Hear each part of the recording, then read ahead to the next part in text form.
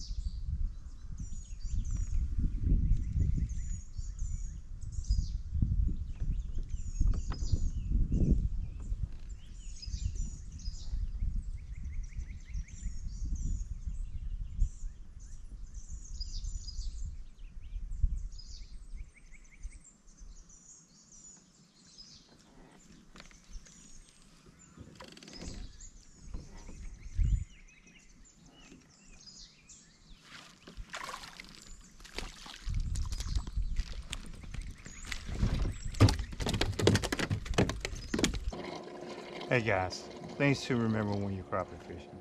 So you're looking for a pattern, and once you establish a pattern, then then you can uh, you can you can actually you'll catch more fish once you establish a pattern. So your goal is to establish a pattern. So you have to remember how deep you were when you got your first hit. You have to remember how deep the water was when you got your first hit and and then look to see uh, what that pattern is. And sometimes uh, the structure and the depth of the water are all in line. And then from there, then uh, you create a pattern and you try to fish that pattern throughout the day. Like for today, uh, the pattern is uh, uh, eight to six feet of water and swimming swimming the bait. Not stabbing, but swimming the bait two to three feet deep. The speed of the swim is actually, they're sensitive to the, the speed of the, of the swim. Uh, too fast and they strike it and miss it. Too slow, they're not interested in it. So uh, you, you, you, you got to find that happy spot uh, on the swim. Uh, so uh, these are the, these these things, you know, help you catch your limit, you know. So you have to you have to really, really when you first start fishing, you got to really, really pay attention uh, and look for a pattern.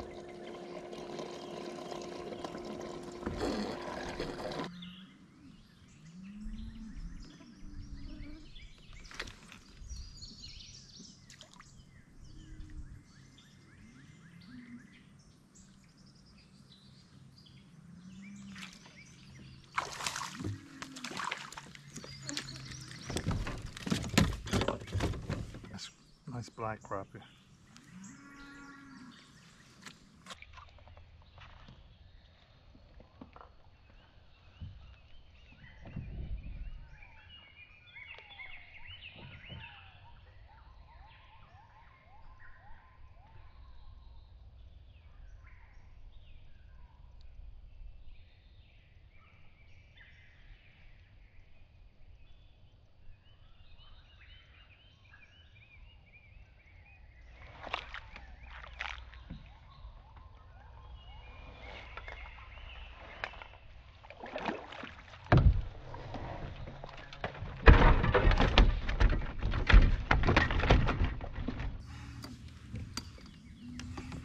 Nice crappie.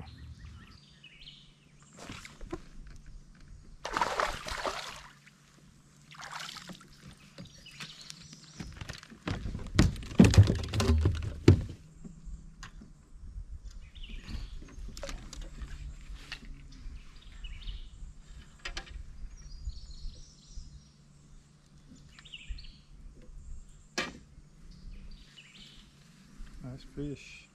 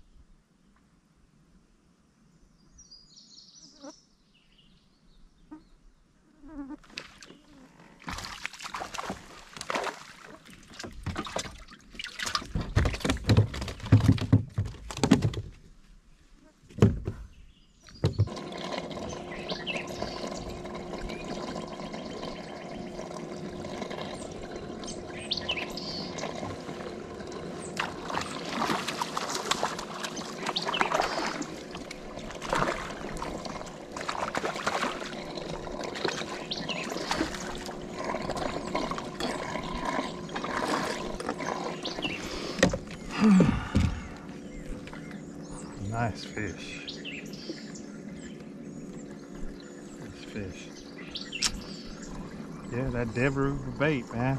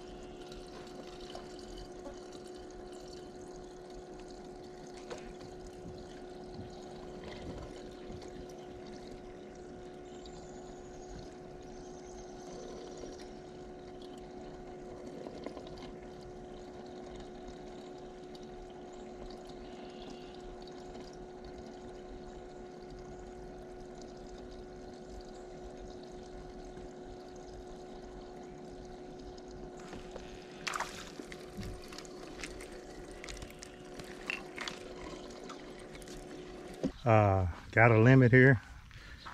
Uh, here in Texas is 25, 10 inches. I got um, 24. I normally stop fishing at 20 because I I can I never do keep good count. And and once again, the good thing I did because I would have went over if I hadn't. But because uh, I thought I had 21. Yep, but here it is. Another good day of fishing. Hey guys, uh, gonna give you another catch, clean, and cook video. Um, so this time we're gonna fry the fish. And so what is a catch, clean, and cook without a clean? And there's a lot of videos on YouTube showing you how to clean fish. And so we're not going to get too deep into that. Just gonna clean a couple of fish here and then uh, uh, and then let you guys see how I do it, uh, which is no different than in the way anyone else fillet them.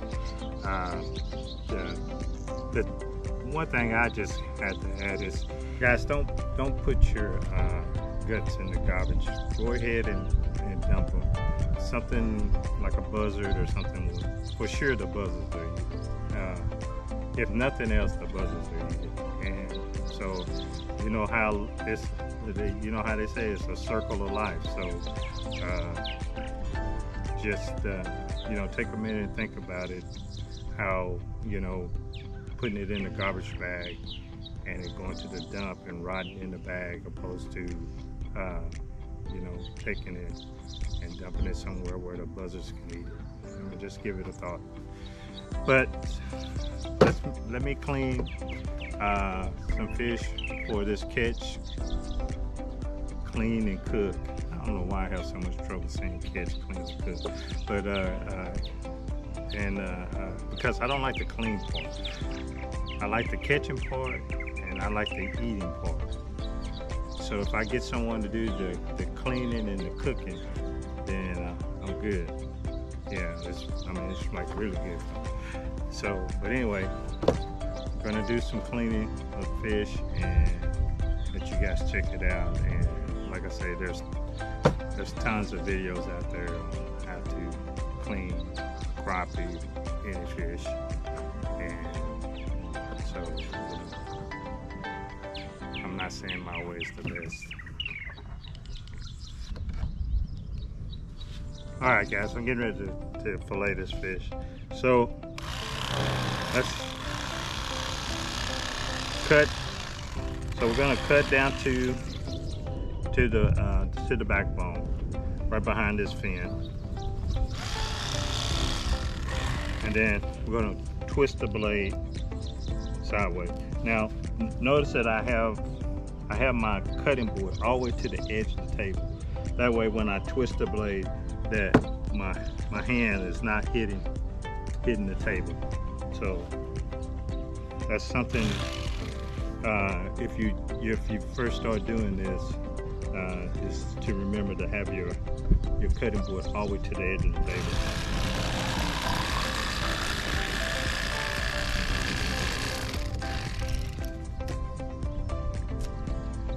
And when you cut it down to this tip, you you know, you got to stop at some point and you have to say to yourself, okay, you're not going to get all the meat.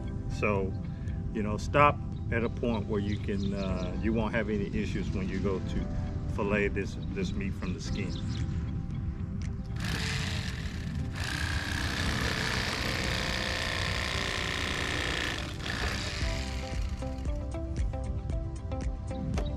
So that's one fillet, and let's turn it over. Now, the top of the fish is farther away from you. And so you have to remember when you when you're filleting fish like this is that when you cut down to the backbone, you cut down to the backbone. You got to get when you get to ready to you get ready to twist your blade you got to get the uh, make sure that your blade is up against the backbone because it's it's it's farther away from you and uh, and if you don't then you'll leave a lot of meat on the backbone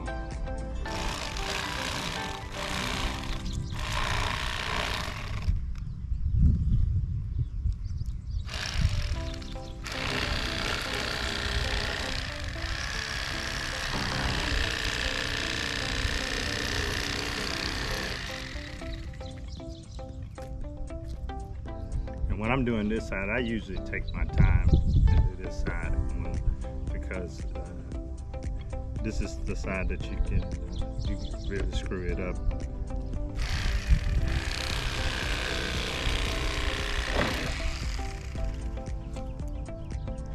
Okay, so this is like a, a, a 10 and a half inch crappie, which is my favorite to eat. I, am quite honest with you. Between the 10 and 11 inches is my favorite. The thicker ones, I mean, you get a lot more meat, but uh, uh, with the, the way the seasoning is on, on the fish, uh, and you get the uh, more of a, a, crunch. It's just a texture thing for me. So you get more of the crunch, the texture uh, from, from that. But I don't know, you can really see, but you don't there's not uh, there's not a lot of meat left on there. And this is why I'm saying, you know, don't don't uh, don't throw this in the trash can. Don't put this in a plastic bag. Just just dump it where the buzzers can get it. Or if you're fishing at a lake where they have a cleaning station, clean the fish there, and uh, and then they'll dispose of it the proper way. Uh, some of them have slide chutes where the, it just slides down into the water and just dumps back into the lake. But yeah, for sure, a catfish, if you dump this back in the lake, a catfish will, will thank you for it. And then you'll go back out and you'll be catfishing and you'll catch a big old fat catfish from your from your scraps that you threw away. Let's go ahead and notch out the, uh, the rib cage. Uh, so if you like eating around the bones, then you can actually leave the rib cage in and eat around the bone.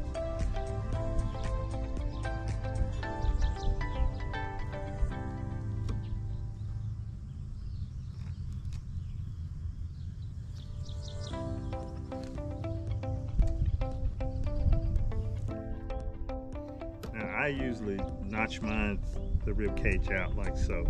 And the reason why I do it like that is not because I'm really want to save this piece of meat right here, is because I like to eat this piece of meat right here. It's, like I say, I like the crunch. So it's all about the texture for me on, on some of the fish, but uh, I like I like the way this piece tastes. I mean, it always tastes so freaking good to me. I don't I just really like it. I think I think it's just the the way the seasoning it is. Um, you know, pieces of fish.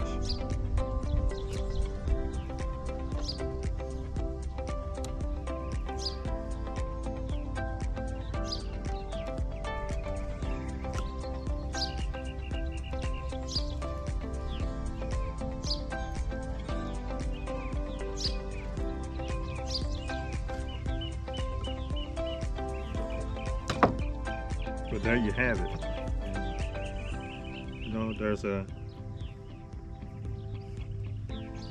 there's a, uh, a 10 inch fish, 10, 11 inch fish, uh, filleted up, and you know, ready for you to uh, fry it up. Now, so this is what you have left after you notch out that rib cage. So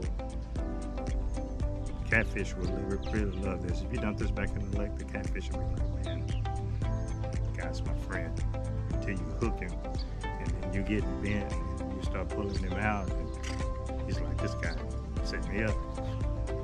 Remember that.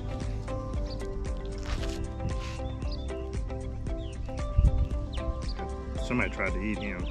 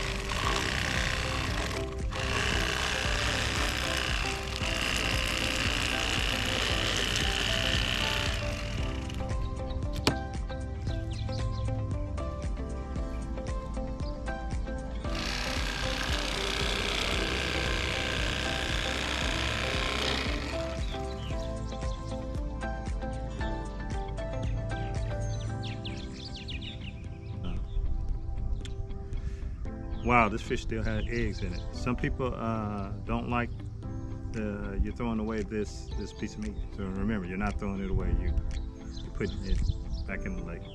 And uh, but anyway, you can cut this out and have a little nugget if you want. I do that on some of the, the 15, 14 inch fish that I, I catch. Uh, I'll do that. You can just take it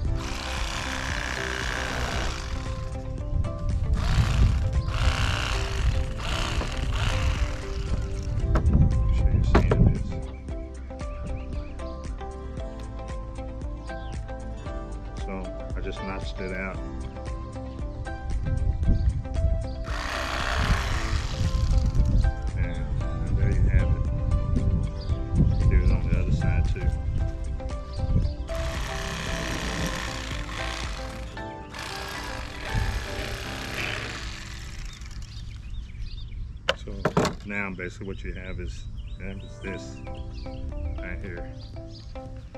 Just throw that away.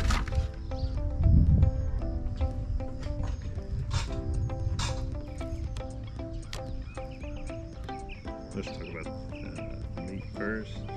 So here's your meat.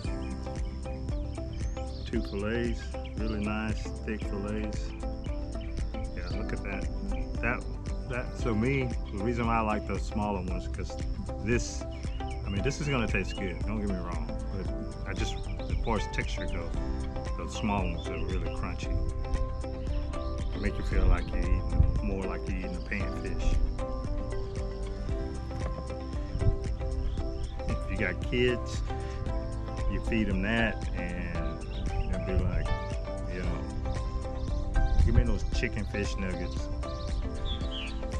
Hey guys, so this is the, uh, the, cleaning part of this video. So next up is uh, is the cooking, and so we're gonna fry this fish up. We're gonna cook some hush puppies with it. We're gonna cook some French fries with it. Oh my, it's gonna be good. Hey guys, today is the cooking portion. You've seen the catch, you've seen the clean. Now today, you're actually going to see Wile E. Coyote do some cooking. Hmm? I'm getting off easy. I'm just preparing sides and a little bit of special treat for you. Okay, so here's the ingredients for today. We're going to be making two varieties of tartar sauce. One regular tartar sauce with the sweet relish, mayonnaise, and onions. And then one spicy tartar sauce, which is going to be made with the dill relish and cayenne pepper. Of course, with mayonnaise and onions. We're going to be using the fruit food processor today to cut the onion up fast.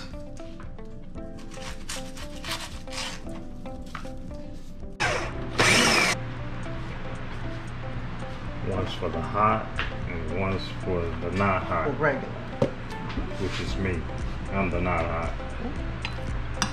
All right, so this is uh, about a half a cup of mayonnaise for each of the variety that we're going to make.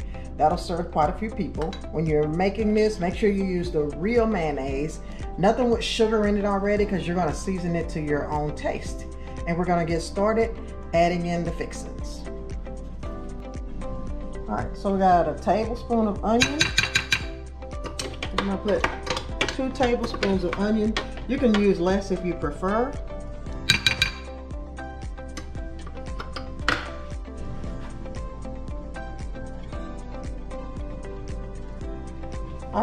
Gonna do sweet relish, a little bit of peppercorns, and dill weed. Dill weed is gonna make the difference in how your tartar sauce actually textures up and, and has a flavor to it.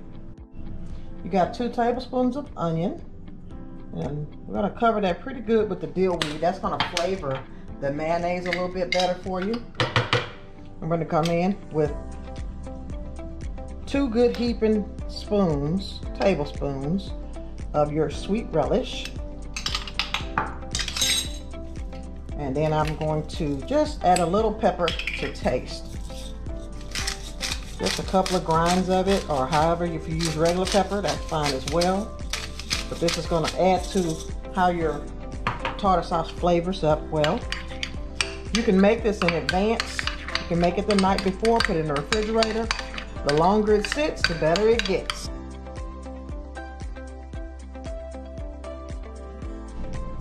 Here's the ingredients for the spicy tartar sauce. Gonna burn your mouth. For the spicy, you're gonna do the same.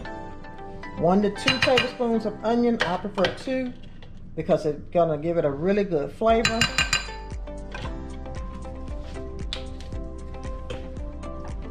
Next, I'm gonna cover it with, again, just liberally sprinkle on your dill weed.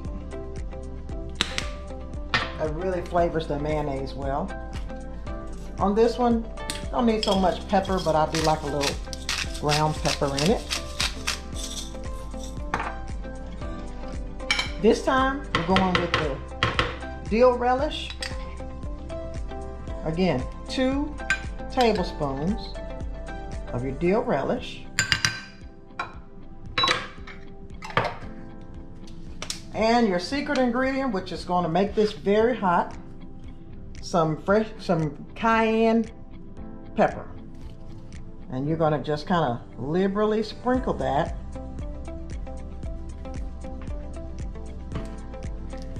and it's going to be hot. All right, so you start mixing.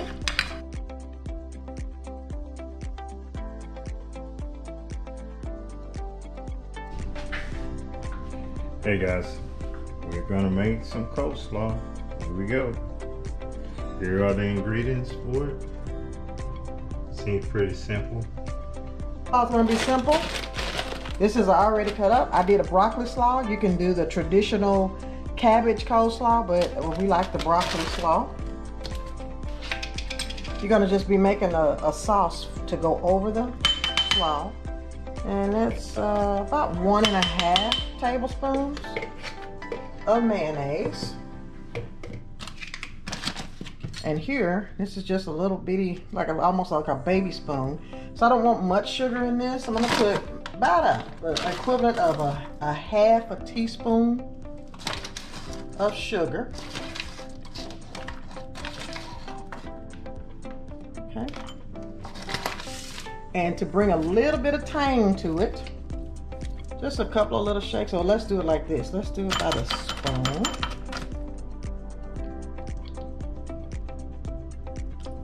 That's a half a teaspoon.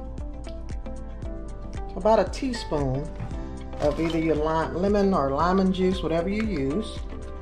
And you basically then just want to stir until you get a good consistency.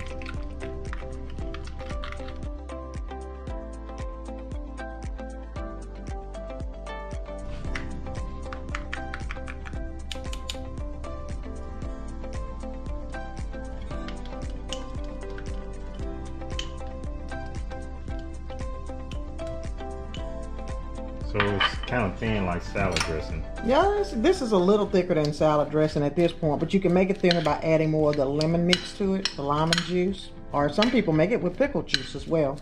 They have a keto version that's actually made with pickle juice. So basically, all you're doing is coating the coleslaw with that mayonnaise mixture, with a slaw mixture that you've made. You can also buy the slaw mixture in the store that's already together, but it normally has a lot of sugar in it. So if you're not trying to get it too sweet, then that's all that you need to do. Hey, guys, guess what? We're gonna have some hush puppies with this fish fry today. So uh, we got this house uh, batter here that we're gonna uh, use to fry the fish. It's got some instructions on the backside. Uh, here, let me get it all in this bowl here and, uh, and get it whipped up and uh, and we're gonna fry it up and check it out. All right.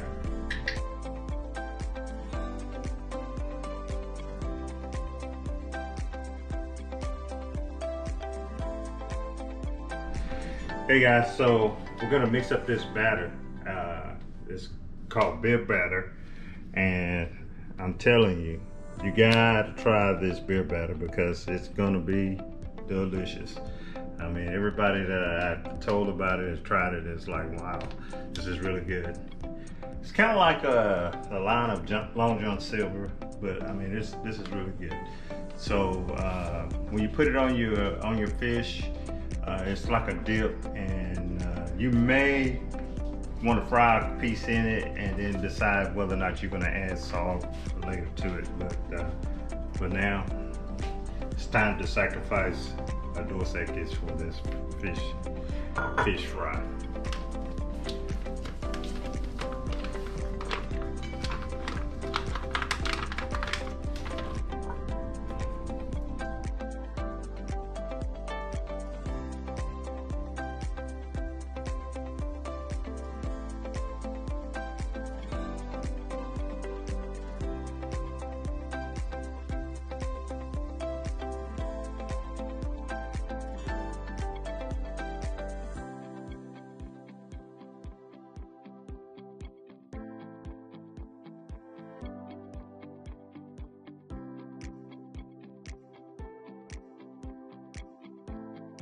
I'm gonna add a little slap your mama to the fish right before I dip it, just to give it a little more flavor.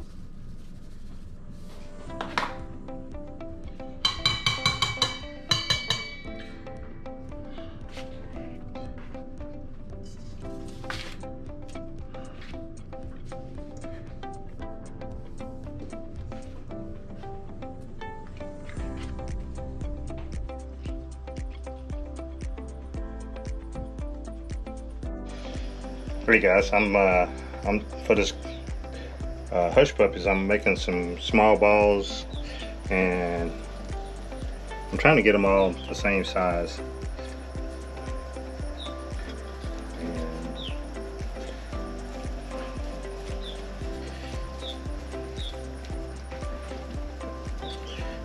I'm gonna roll these into the. Uh, I'm gonna set these right down into the fryer I get them all ready here.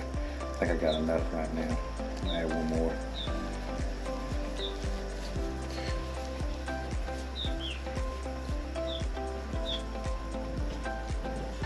Looks like you added something in that batter. Yeah, got some corn in there.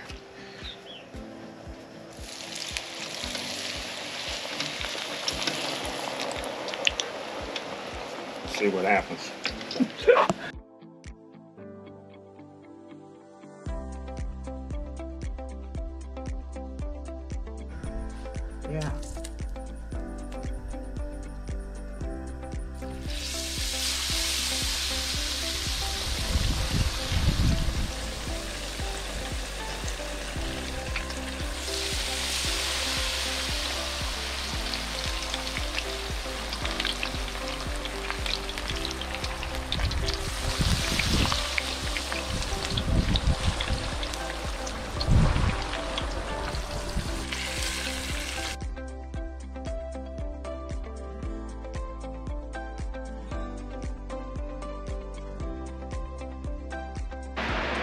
guys.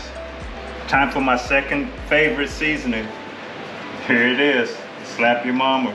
Cajun fish fry. This is not spicy. I do not like spicy food. Burns me up.